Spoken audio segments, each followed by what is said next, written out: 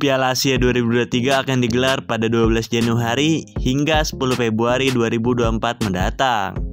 Timnas Indonesia berhasil lolos ke putaran final kompetisi antara negara Asia tersebut.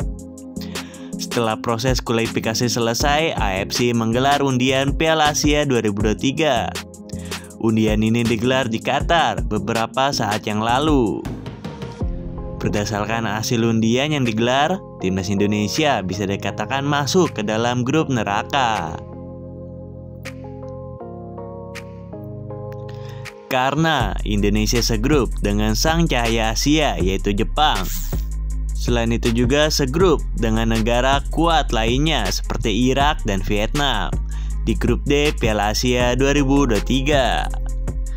Tentu ini menjadi kerja keras bagi pelatih kepala Sintayong agar memikirkan taktik permainan lebih matang lagi. Selain itu juga Sintayong harus bisa memanfaatkan waktu yang tersedia dengan sebaik-sebaiknya agar timnas Indonesia dapat tampil maksimal mungkin di Piala Asia nanti.